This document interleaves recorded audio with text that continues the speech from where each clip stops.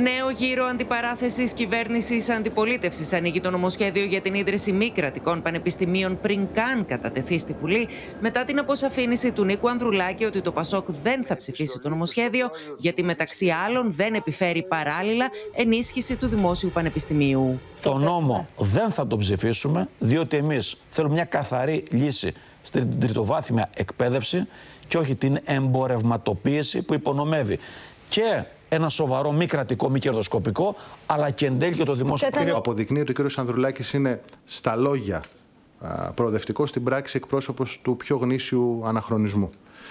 Και ξέρετε, είναι η πιο χαρακτηριστική περίπτωση που κάποιος, επειδή δεν θέλει κάτι, ψάχνει να βρει τη μία μετά την άλλη ε, τις πιο ασόβαρες, θεωρώ, δικαιολογίες για να μην υπερψηφίσει ένα εμβληματικό νομοσχέδιο. Πίσω από κάθε δίθεν μεταρρύθμιση της κυβέρνησής σας, κύριε Μαρινάκη, κρύβονται οι αρεστοί σας, έτοιμοι να ροκανίσουν το δημόσιο χρήμα. Η κυβέρνηση της Νέας Δημοκρατίας είναι η επιτομή του καθεστωτισμού και του πελατειακού κράτους. Δυστυχώς, το Πασόκ του Νίκο Ανδρουλάκη είναι μια απογοήτευση.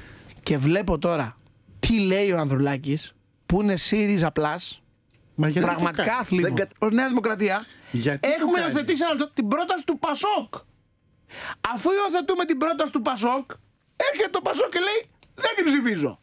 Ε, βγάλακ. Ο άνθρωπος τώρα αποδεικνύει ότι πρέπει να έχει πάει στο ΣΥΡΙΖΑ μαζί με τους άλλου που φύγανε. Κακό. Ε, δεν κάνει και αυτή τη δουλειά τώρα. Μιλάμε τώρα. Άμα δεν κάνει και αυτή τη δουλειά, ο άνθρωπος είναι ΣΥΡΙΖΑ. Δεν είναι Πασόκο τώρα. Ο κυβερνητικός εκπρόσωπος αντέκρουσε και τις ενστάσεις Ανδρουλάκη για το Δημόσιο Πανεπιστήμιο, υπογραμμίζοντας ότι το μεγάλο μέρος του επίμαχου νομοσχεδίου αφορά την ενίσχυσή του. Μέσα από το νομοσχέδιο, το 70% του οποίου αφορά το δημόσιο πανεπιστήμιο, παρέχονται ελευθερίες στα δημόσια ΙΕ και χρηματοδότησή τους μέσα από τον προπολογισμό, το Ταμείο Ανάκαμψης και τις έκτακτες ενισχύσεις θα φτάσει το 1 δισεκατομμύριο ευρώ. Κατά του νομοσχεδίου τάσεται και ο ΣΥΡΙΖΑ, υποστηρίζοντας ότι καταργείται το άρθρο 16 του Συντάγματος για τη δημόσια παιδεία. Το Σύνταγμα δεν είναι κουρελόχαρτο.